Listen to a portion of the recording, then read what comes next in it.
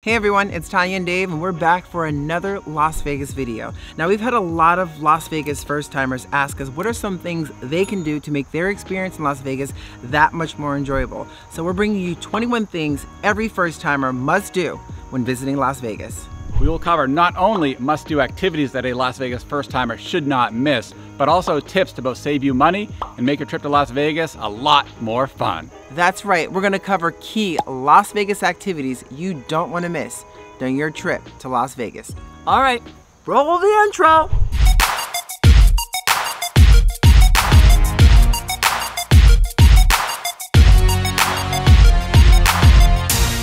First up, when you're planning your trip to Las Vegas, we recommend first timers stay at a hotel and casino on the Las Vegas Strip.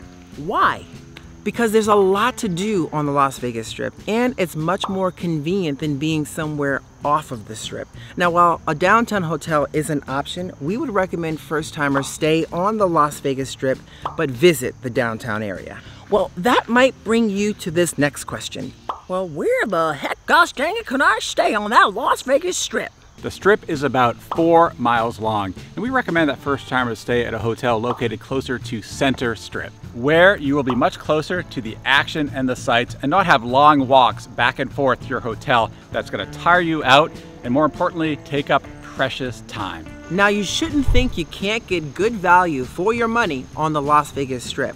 There are hotels and casinos on the strip for every budget. Some of our favorites, not sponsored, include on the luxury side, the Cosmopolitan for its amazing rooms with balconies and incredible energy, and the Aria, which is a bit quieter than the Cosmo with very modern rooms. Now, on the more budget side, Bally's, now becoming Horseshoe, has been one of our all around budget friendly favorites as well as the renovated rooms in the Flamingo, which is a very nice and popular resort pool. Just make sure you are getting a recently renovated room if you choose the Flamingo. We have more detailed videos walking through all of our favorite hotels, both luxury and budget options, right here that you can check out after this video or just check the link in the description box below.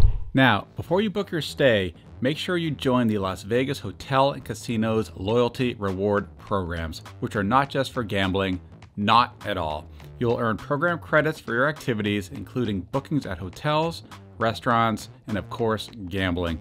You'll also likely get access to better room rates once you join the program, as well as discounts for shows and other activities. The Cosmopolitan, for example, has been offering $99 room rates with no resort fees consistently throughout the year for their loyalty members, even with no status. Before you arrive, we recommend making reservations in advance at any popular restaurants or other activities that you want to try during your stay. Some of the more popular restaurants can book up far in advance. If you are a Gordon Ramsay fan, for example, Gordon Ramsay's Hell's Kitchen at Caesar's Palace tends to be booked up far in advance, so make those reservations early. Thinking about renting a car? Well, for a while after Las Vegas reopened from the shutdown in June of 2020, parking was mostly free on the Las Vegas Strip. And over time, many casinos, including MGM and Caesars properties, have reinstituted parking fees unless you have certain loyalty status with the property. So, consequently, for first timers, we would generally not recommend renting a car during your first visit. Now, there are many convenient and relatively cheaper ways of getting around Las Vegas. For most, Uber or Lyft will be the best option, convenient, and roughly 20 to 30% cheaper than taxi fares. Now, you can hit most of the first timer Las Vegas activities easily by either walking or a short Uber ride. But then there's also the public bus, the Deuce, which is a very popular and cheap way to get around. So, what do you need to pack, first timers? Well, let me tell you, Las Vegas is a desert environment. So, while the days can be very hot, the evenings when the sun goes down can be very cool and sometimes downright cold, especially late fall through early spring. So, Make sure you bring a sweatshirt or light jacket if you are traveling during that time. The air conditioning in the casinos and other venues can be very strong as well, so you might want that extra layer regardless.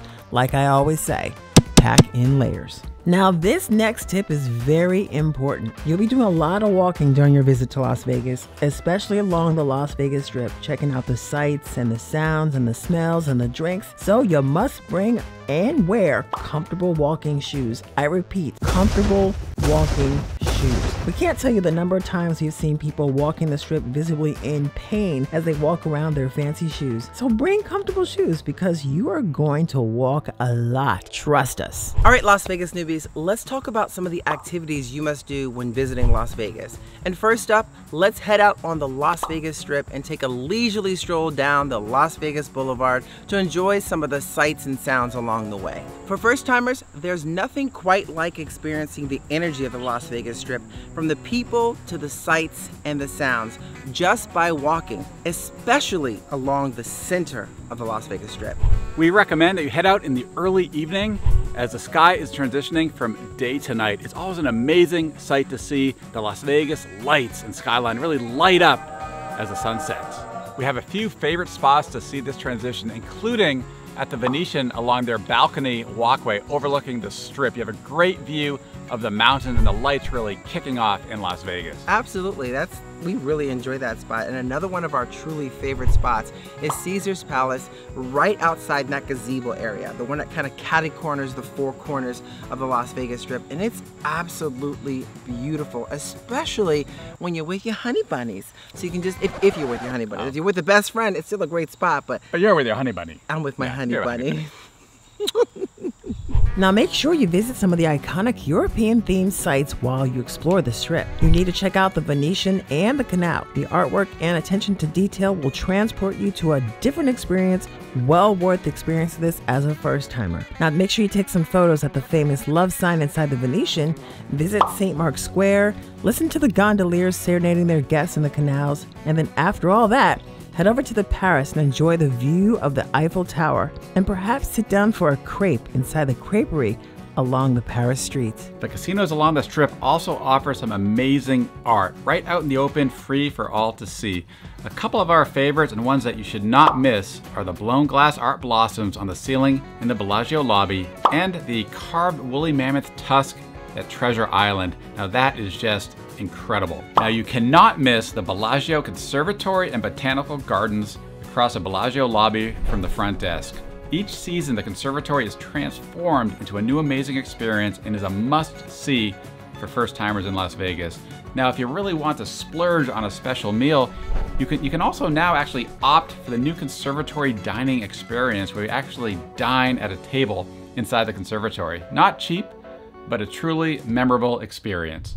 And that brings us to our next must-do activity, and that is to check out the free iconic shows along the Las Vegas Strip, including the Bellagio Fountain Show and the Mirage Volcano Show, which, as of the date of this video, is still running. Now, the Bellagio Fountain Show will go off every 30 minutes, seven days a week, up until 8 p.m. at night. And then after 8 p.m., it's actually every 15 minutes. So definitely check that out. As newbies, you've got to see it. And a quick pro tip if you're not sure when the Bellagio Fountain Show is going off, just look up at the Paris Eiffel Tower. Their tower tends to be in sync with the Bellagio Fountain Show, whether it's already started or just before it starts. So look up at the Eiffel Tower. You just might catch the Bellagio Fountain Show. Now, just to let you know about the Mirage Volcano Show, you may already know this, that the Hard Rock has acquired the Mirage, and at some point, that volcano show will be going away and a guitar hotel will be erected in its place.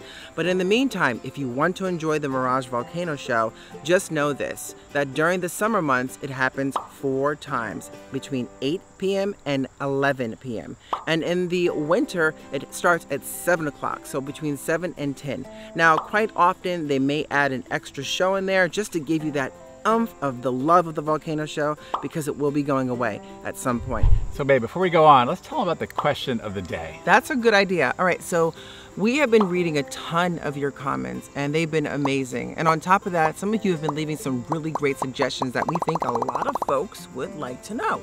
So stick around because at the end of this, we're gonna ask you a question of the day and we're gonna pick one of you to feature in our upcoming videos. Yeah, and the question of the day is not going to be what happened to these glasses. No, he got a wrestling. question. Him and his glasses got into a wrestling match, and apparently Dave no, won. That's a fashion trend. Come on, everyone's doing it. Maybe they will, like wearing pants backwards. hey, take a second if you haven't done so. We're so close to 100,000 subscribers, you guys. Thank you so much for the tremendous support. Hit that subscribe button and that notification bell so you get notified every time we go live or post a video. We would greatly appreciate that. Now, speaking of dining experiences, make sure you enjoy brunch or breakfast at one of the great restaurants on the strip. Now, it's no secret, our favorite breakfast and brunch spot on the Las Vegas Strip is at Mon Ami Gabi. And I must tell you, dining at Mon Ami Gabi offers an additional experience. If you're interested in seeing the Bellagio fountain show while dining, it's basically an up close and personal preview of the iconic fountain show right across the street. Now, a quick pro tip we highly recommend requesting their patio seating. While you can make reservations for inside, you cannot for the patio. So get there early, get your name on their waiting list, and they'll actually text you once your table is ready. Now, we've done a full review of our experience having breakfast at Mon Ami Gabi. You can check that out right here. Now make sure to check out a true Las Vegas iconic show from Cirque du Soleil. Las Vegas is a place to see Cirque du Soleil shows. In our opinion, the Cirque du Soleil shows in Las Vegas are simply better than what you'll generally find with any of their traveling shows. Now, next up, you've got to spend time poolside at your resort pool or at a day club. Las Vegas resort pools and day clubs are legendary, and there are options for every type of traveler. If you are looking for the party scene, consider some of the more popular day clubs like Encore Beach Club, Tao Beach Day Club, or the newer Ayu Day Club at Resorts World. Or you can always enjoy a more relaxing time at your resort pool enjoying a margarita. And if you're curious about some of those hidden gem restaurants in the downtown area, well, we have a video for you as well that you can check out right here in the description box below. When you're in Vegas, make sure you treat yourself and enjoy a special dinner at one of the many great restaurants in Las Vegas. And some of our favorites include Las Vegas steakhouses with an old school vibe, such as Barry's Downtown Prime at Circa or Oscar's at the Plaza, but there are options for everyone. Alakazoo, alakazam, bippity boppity boo. All right, let's check out one of the great magic shows here in Las Vegas. Some notable options include David Copperfield at MGM Grand, Shin Lim at Mirage, Penn and Teller at Rio, Criss Angel at Planet Hollywood, Mind Freak, Piff the Magic Dragon at Flamingo, and Nathan Burton Comedy Magic at Planet Hollywood. All right, so now it's time for the question of the day. The question of the day. So the question of the day is for those of you that are coming to Las Vegas for the first time, or for those that can remember your first time coming to Las Vegas, let us know what you looked forward to the most and why. And we will pick someone to feature in one of our upcoming videos. So, babe, what were you most excited about in your first first visit? Oh, um, you know what happens in Vegas stays in Vegas. oh, how it. Las Vegas Boulevard. Boulevard. Let's try it again. Las Vegas Boulevard. Pick three, four. Action. Okay. Action. Cut. Action. Three. Wait. Action. No. No. Action. Start again. You're wasting. You're wasting. then enjoying the Frascaska. You're in Deluxe. That's a wrap. The Las Vegas Strip. Oh, Las Vegas. whoop, whoop, whoop, whoop, There goes the sound of police. Uh. Stop it. okay, here we go. Nice glasses, by the way, my dear. Oh, come on. You can't see that.